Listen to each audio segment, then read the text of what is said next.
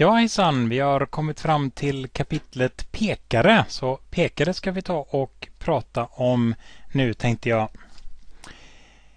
Pekare är en av de vanligaste grejerna att få ont i huvudet av så därför tänkte jag det kan ju vara bra att träna på det lite ytterligare. När vi ska hålla på med pekare så kan vi då börja med att göra lite olika variabler. Vi skapar oss variablerna tal 1 och tal 2 till exempel.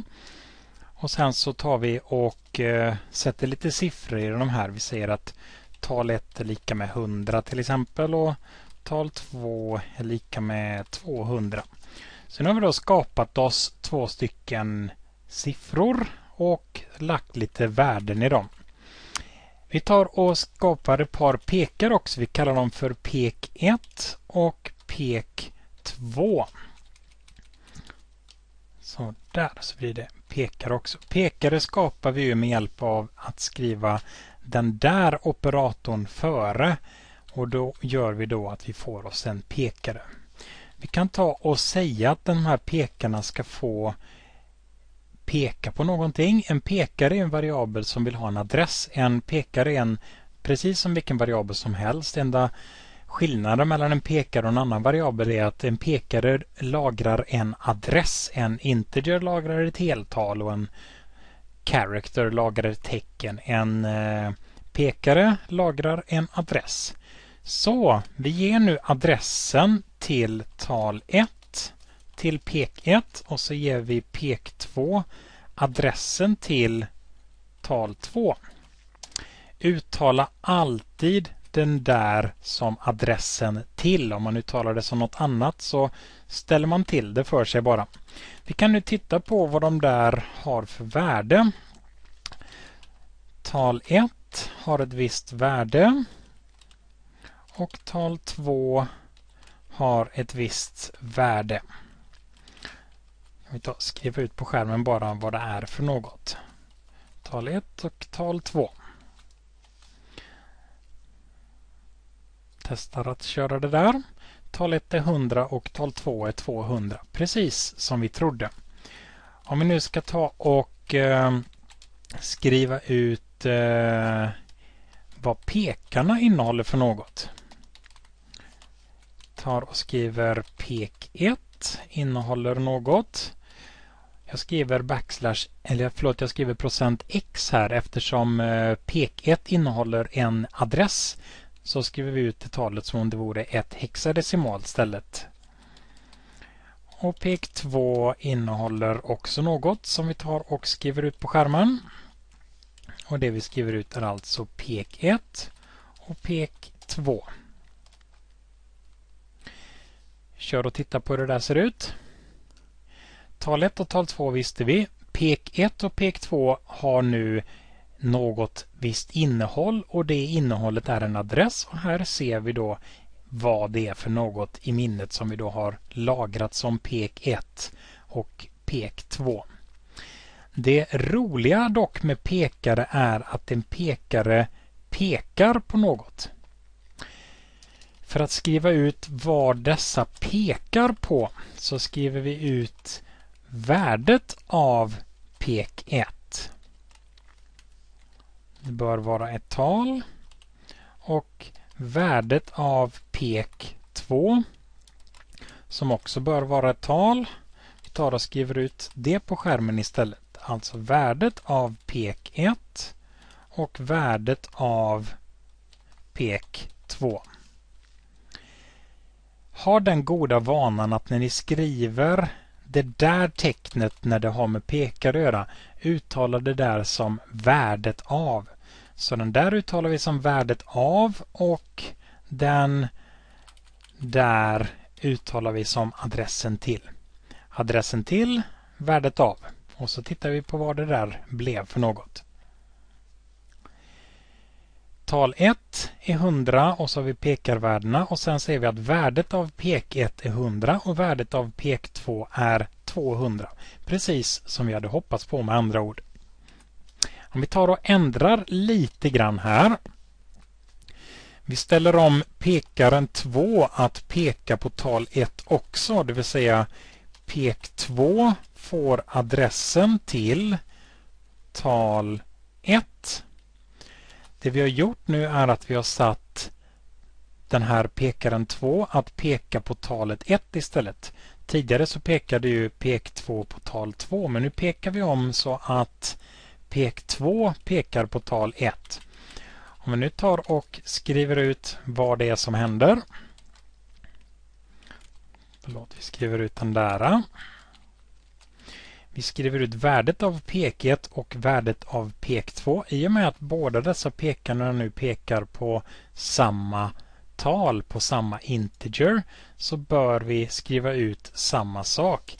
Vi kan ta bort lite av de eh, tidigare printarna här så vi ser lite tydligare. Vi ser att både pek 1 och pek 2 pekar på samma värde, det vill säga värdet av både pek 1 och pek 2 är 100 i och med att de pekar på samma variabel.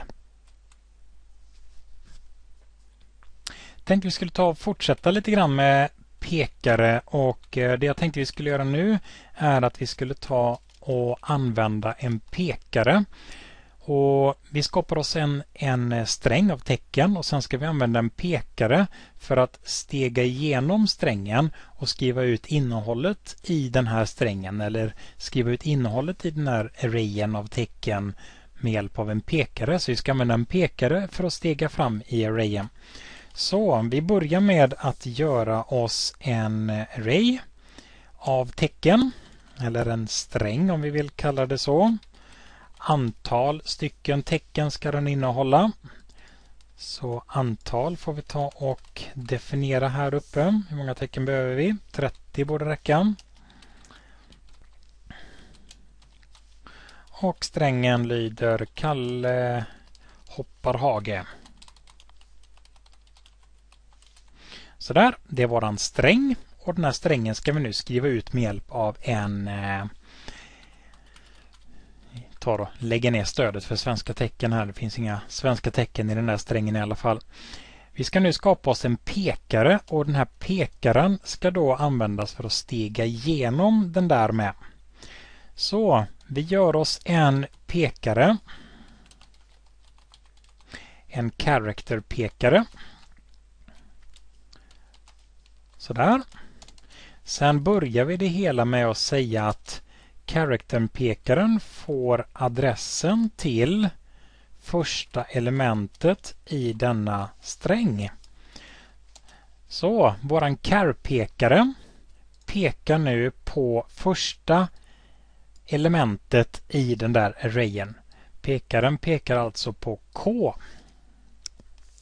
Det jag tänkte vi skulle göra nu är att eh, skriva ut det där med hjälp av en pekare.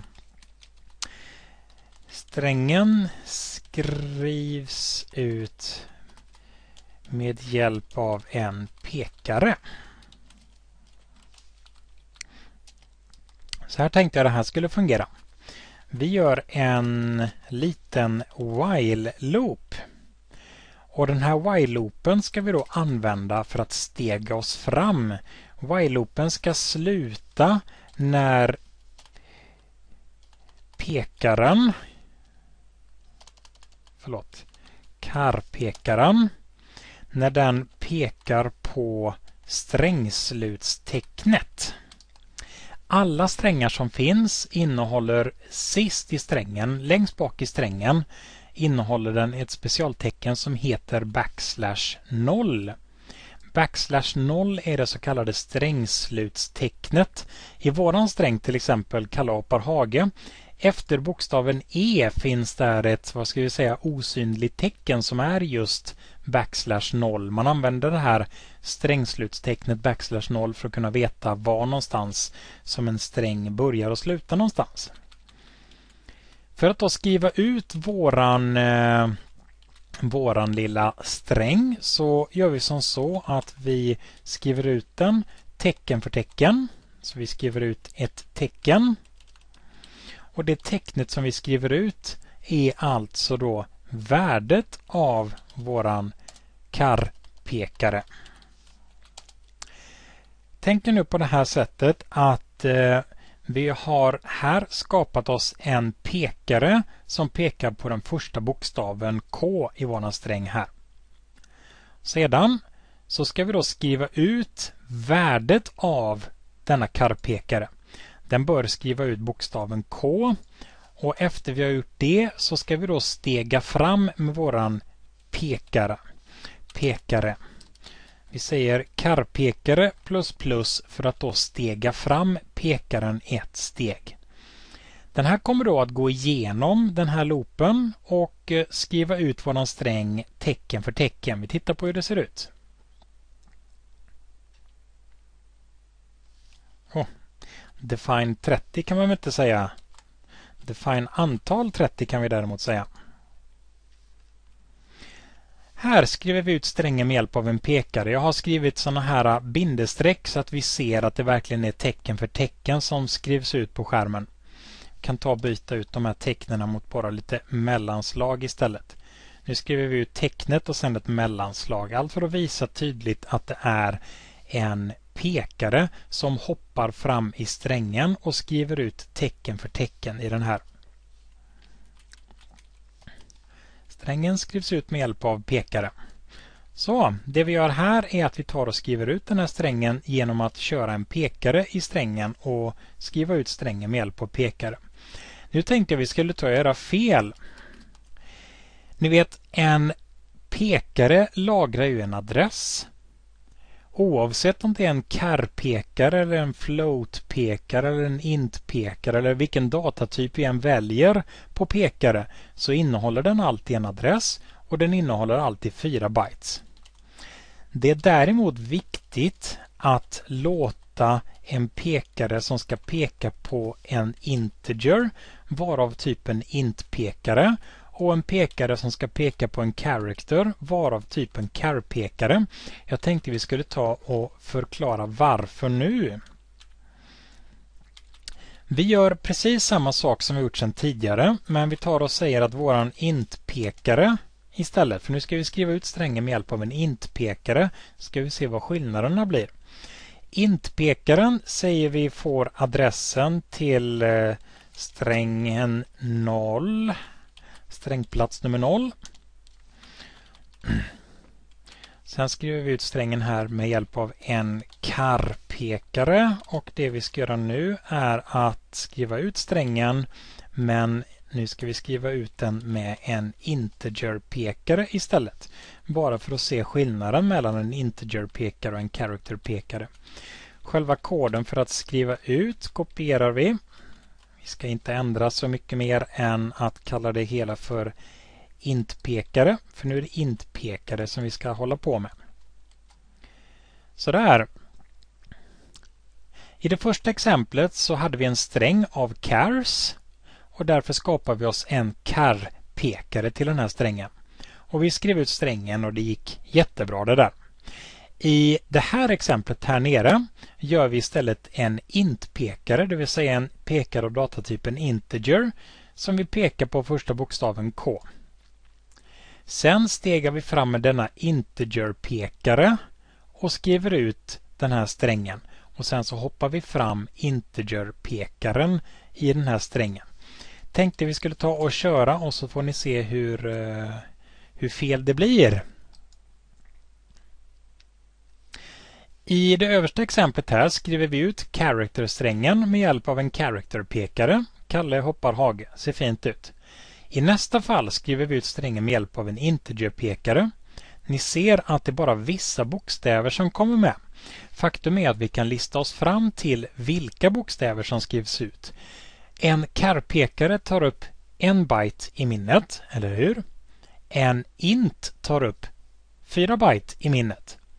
Om vi stegar fram ett steg i minnet med en character-pekare så stegar vi alltså fram en byte. En integer däremot, stegar vi fram en integer-pekare ett steg i minnet så hoppar den alltså fram 4 byte eftersom en integer är 4 byte stor. Vi skriver ut K därför att vi började på K. Nästa bokstav som skrivs ut är E och anledningen är att vi hoppar från K 4 byte fram i minnet och skriver ut det där bokstaven E. Sen gör vi ett jättehopp på 4 byte igen och skriver ut bokstaven P. Sen gör vi ett jättehopp igen och hittar ett mellanslag. Och sen så gör vi ett jättehopp igen och hittar bokstaven E som är den sista vi skriver ut. Så ska man hoppa fram i en character array använder vi en character-pekare. Och ska du hoppa fram i en i en eh, integer array så använder du en integer-pekare.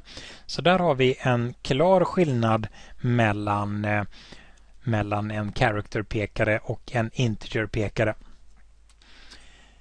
Ett exempel till tänkte jag vi skulle hinna med på kapitlet pekare.